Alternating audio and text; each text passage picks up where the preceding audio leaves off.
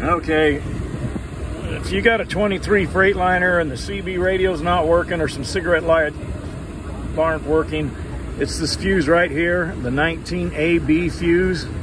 That's got to be put in. Now there's three slots where this fuse can go. The bottom two makes it so the key has to be on for the cigarette lighters and the CB to work. You put it in the top two holes, then it's on all the time. You want to, you've got extra fuses right up here. There's your little thing to pull the fuse out with, but you should have extra fuses up there if you need them. But that's it, it's the 19A fuse. Right there, you see these three big fuses here, some breakers right next to those, and that's the one you want to do.